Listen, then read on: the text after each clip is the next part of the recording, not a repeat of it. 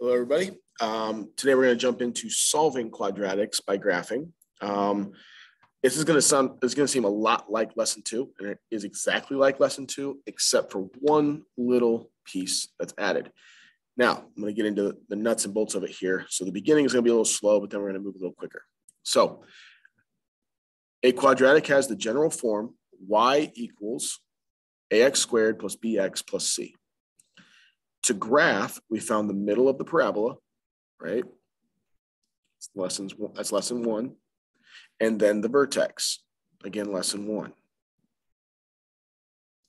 From this lesson on, we will use the following form of a quadratic. It's going to be a very minor change.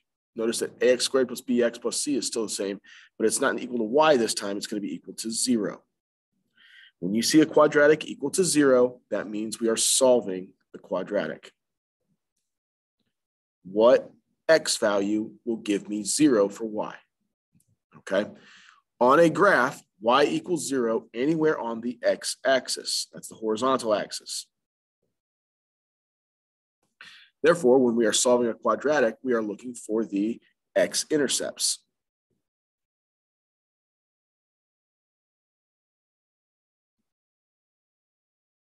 Okay, that's any place where the graph crosses the x-axis. Right, so the x-intercepts is another word for the solution. So there's four terms that all mean the same thing when it comes to solving quadratics. Solutions and x-intercepts mean the same thing. Those are the two I use the most, but there are two other words that you will need to know. Roots and zeros. All right, so all of those things mean the same thing. All right, so when I ask you to find the solutions, I'm also asking you to find the x-intercepts, the roots, and the zeros. right? so we're going to jump right in and do a problem. Solve by graphing, okay? So again, this is very similar. Actually, it's exactly what we're going to do in lesson two, or what we did in lesson two. So negative b over 2a b is negative 6, a is 1. Negative negative 6 is positive 6 over 2, x equals 3. Just to be consistent, I'm going to put that axis of symmetry there. Go ahead and find the vertex. So 3, and then I got to find what y value is.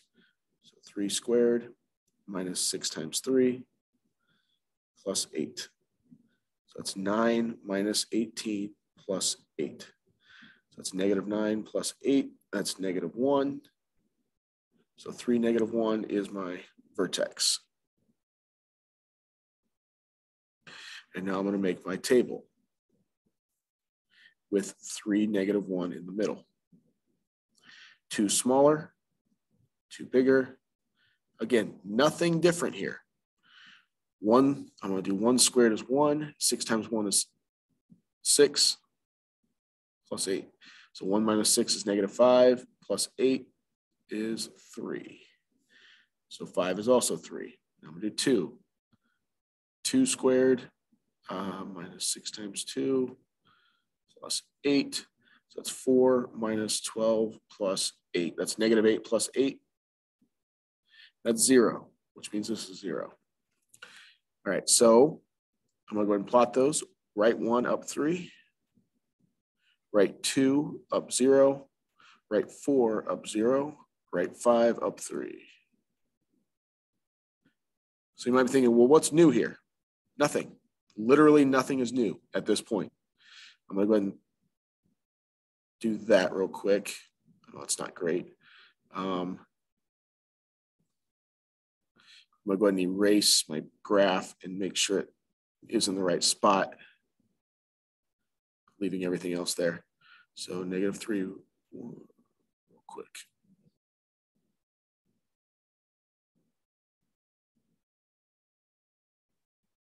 Sorry. There we go. All right. After graphing, how many times does the parabola cross the x-axis? Well, it crosses twice, right? That means that this equation has two solutions. The number of times it crosses the x-axis, which is right here, That is where you find your solutions, okay?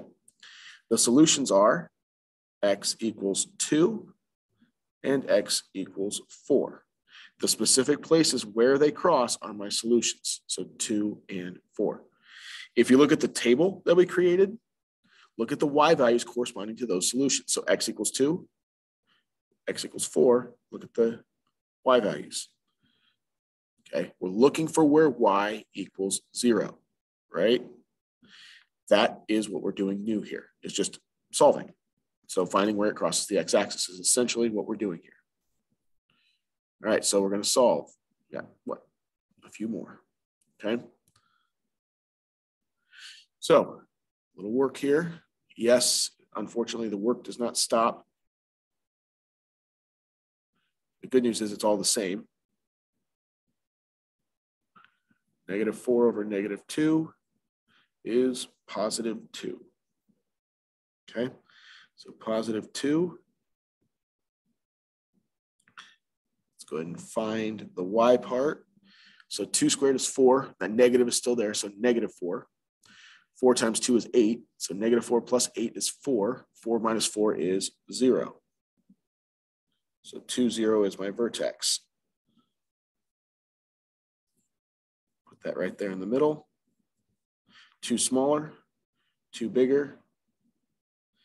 Uh, I'm to do 0. It's pretty easy. 0 plus 0 minus 4 is negative 4, which means 4 is negative 4. 1 squared is 1. Negative 1 plus 4 is 3. 3 minus 4 is negative 1.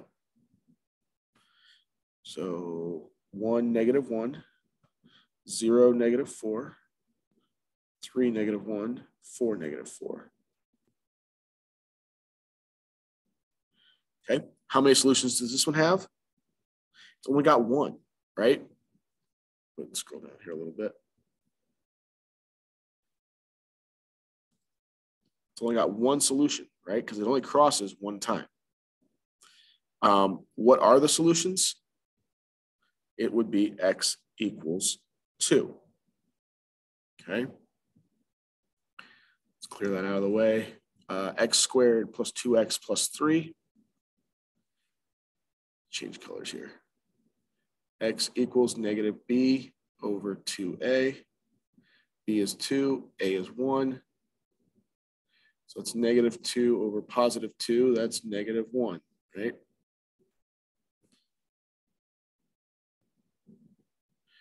And then plug negative 1 in. Negative 1 squared is 1. 2 times negative 1 is negative 2. So 1 minus 2 is negative 1. Plus 3 is 2. So negative 1, 2 is my vertex.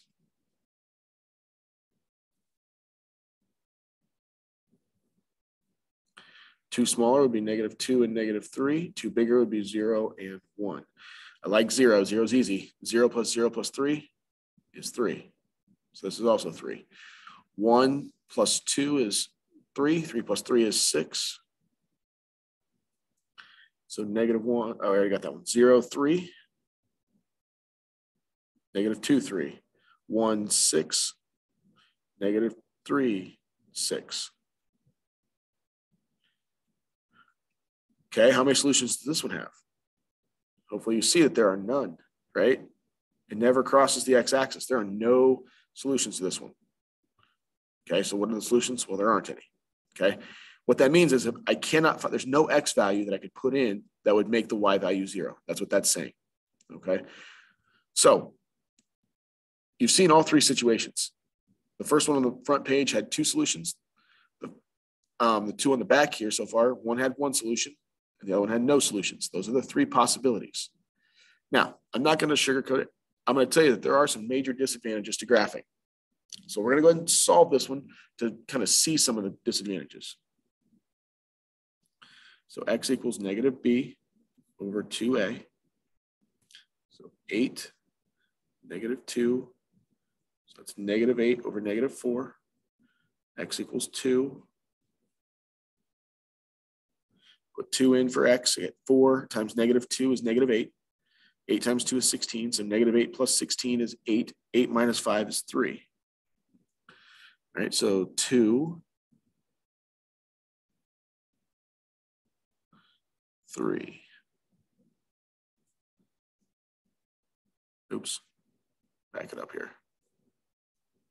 Making a table now. 2, 3. 2 smaller would be 1 and 0. 2 bigger, 3 and 4.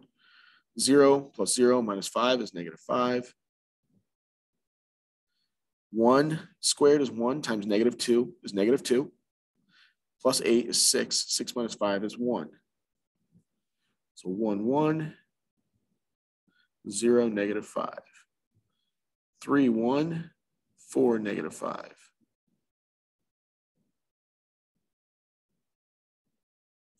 Okay, so you're like, okay, there's nothing really too hard about that. Here's the part that's tricky. How many solutions does this have? A lot of people are going to say zero. That's not true. How many times does it cross the x-axis? How many times does it cross here? Well, it crosses twice, right? It crosses here and it crosses here. What are those solutions? We don't know. They're not good numbers, right? This example shows two major disadvantages to solving by graphing. One, it's time consuming. Each problem takes about five minutes. And two, you're not able to find the solutions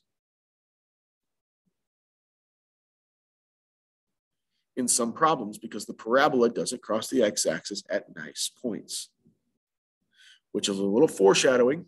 I'm going to show you four other ways to solve a quadratic in the next few videos. Okay, but for now, that's the end of this video and the end of graphing.